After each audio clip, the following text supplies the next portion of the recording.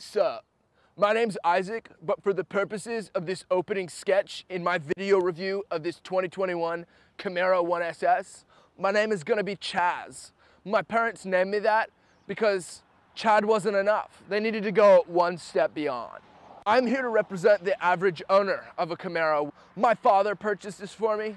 He's in like bro brokering or something. Is that like stocks? I don't know. Because I don't really see my dad a lot. I wish we had a relationship, but he kind of just buys me things and tries to vie for my affection. All I really want is some free time with my dad, dude. Can I ask for that, please?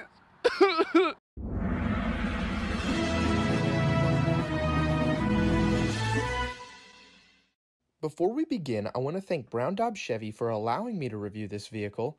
For all your Chevy needs, you can visit Brown Daub right off of Nazareth Pike in Nazareth, Pennsylvania, or at their website, browndaubchevy.com. okay, back to my normal voice. That was a joke in the intro. I know a lot of loving, reputable people that have Camaros of this trim and many others. I just like to poke fun a little bit. Starting out here up front on this, I really like this design choice. I think it's incredibly aggressive and it's much better from the previously unveiled 2019 body style where they had the bow tie in the center right here. I couldn't figure out why I didn't like that style, and I think that's why I didn't. I think the bow tie really belongs up at the top in line with the headlights. I think it really makes it look sleek here. You'll have full LED headlights on here and daytime running lights that are LEDs as well. Next to that bow tie, you'll also get the SS badge on the front grille. Moving underneath the hood in this Camaro, it is powered by General Motors 6.2 liter V8, making 455 horsepower and 455 pound-feet of torque. Man, this thing growls. Let's take an exhaust clip.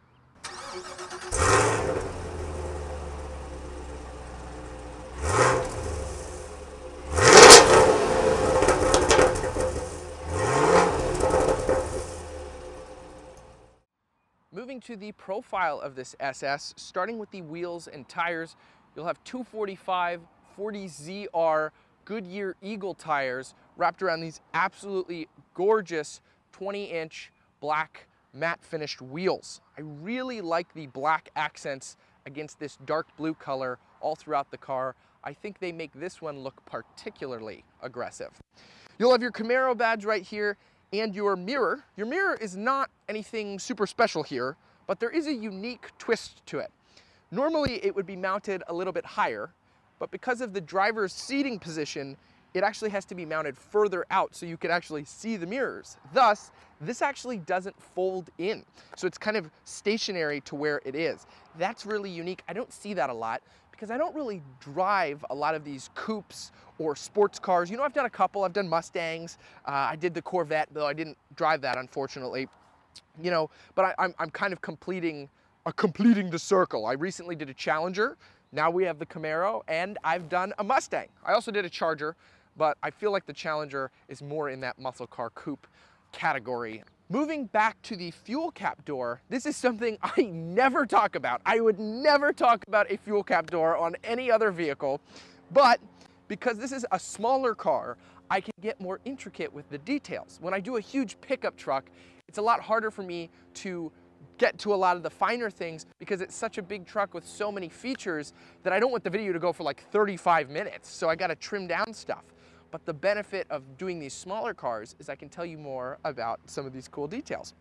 You get this carbon fiber look to the fuel cap. It says Camaro on it. And interestingly, this has a 19 gallon fuel tank. Normally cars in this category have somewhere between 12 and 15 gallons. So this guy has a huge tank, which is really nice. Let's move to the back. Moving to the rear of the SS, starting down here at the bottom, you'll have your exhaust down here your SS badge slightly above that, and then right above where your license plate would be, you have a backup camera very cleverly integrated into there. You'll have your black Chevrolet bow tie emblem, your third brake light up here, as well as your tail lights, and then you do have this really nice wing that's included on the SS trims of the car.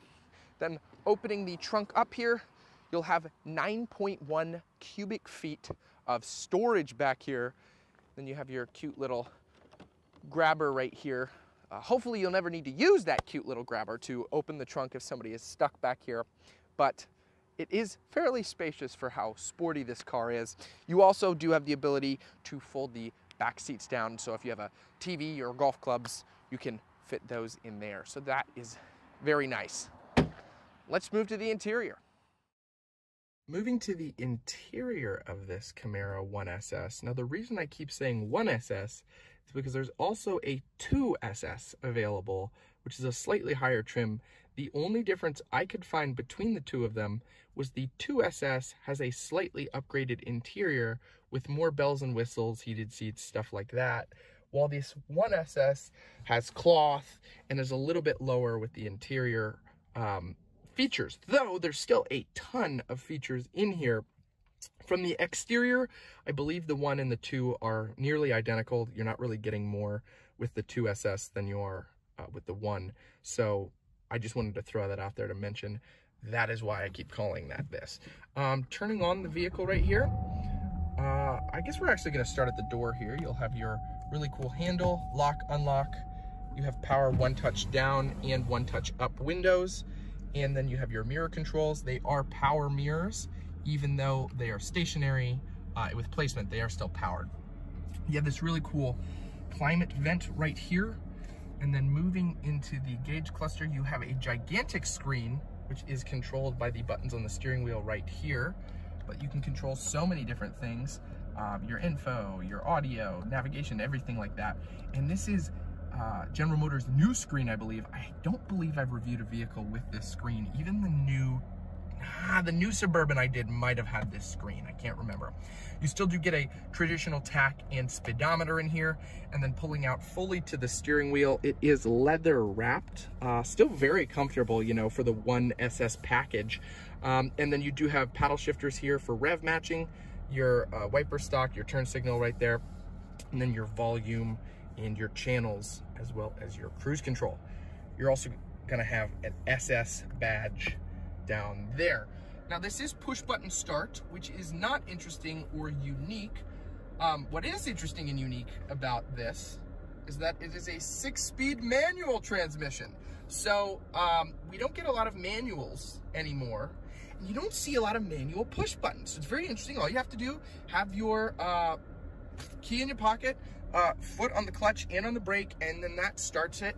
Um, as the manuals kind of have start to die out, it's very interesting um, to see what, what they're kind of bringing in with the new features while also kind of pushing out the old. So it's really interesting. You also uh, do get the SS emblem on there, which is really nice. Really like the shifter leather wrapped as well. Um, moving to the screen right here, it is angled down a little bit because uh, the seating position I do want to mention the seating position is kind of interesting. I remember when these Camaros first came out, and as I've mentioned, this is my first time in one. Uh, people talked about it not having great visibility. I was like, what do they mean by that? And they fixed it, but I still get what they mean because this is a tiny, tiny windshield. Like there, it is very slanted. And um, we'll, when we get to the driving segment, we'll see, but I don't know visibility wise how great this is gonna be um, long term. But because of that too, the screen is angled kind of down, but I've moved the seat up to get better visibility. So I'm kind of touching down on the screen. Um, I wish it was just a little bit more flush, but it is still very responsive. GM has one of the best infotainment systems in the industry right now. Wi-Fi, Android Auto, Apple CarPlay, built-in navigation, very, very quick. As you can see, very snappy and responsive to go into stuff. And then you'll have physical controls below that and then you'll have your climate controls down here. One thing I really like, probably the coolest party trick of this interior, is you take your climate vent and you turn it and that adjusts your climate temperature, which is really just wonderful. Um, so cool. And um, then you'll have your defrosters here, your hazards, and moving past here, you do have an electronic parking brake. I kind of wish that it didn't have um, the electronic uh, parking brake, I kind of wish for a traditional one that you would pull. Um, it does seem to go automatically into park once you uh, turn the vehicle off. It, like if you forget to pull this, it seems to do that automatically. Um, I'm just not 100% sure if I trust that. Uh, but you do have your mode selector here. Oh, let me turn the car back on. Turn it off because I didn't think I'd need it. But you do have uh, your mode selector button right here next to your big traction control. And if you touch this, you can go into sport, track, snow, ice, and tour. So that is really cool that you get the options there. You do have a 12 volt right there and two cup holders. And this is actually a little storage cubby right there, little center armrest. Uh, overall, this interior is actually, now I'm gonna turn the car off, uh, very nice. I, I, think the leather stitching on here is really high quality. Um, you do get a sunroof in this, which is really nice. I did not know that was an option on the 1SS, but it is. And then um, you do get your controls for that, so you can open it up, which is, oh, so nice. And uh, really lets the light in here. And then you have LEDs in the dome lights. I mean, overall, it's very high quality. I mean, yes, the seats are cloth, but I mean, that's okay. I think the seating position overall is decent, but that's not really a fault of the trim of the car. I think that's more of like the design of how sleek it looks. But I really like this interior. Let's take it for a spin.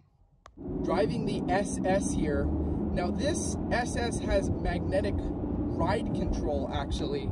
So it, uh, apparently reads the road at a thousand times per second and pings back like the best stability, especially for track performance in this car. Really opening it up here. Oh, it sounds beautiful. Oh my goodness.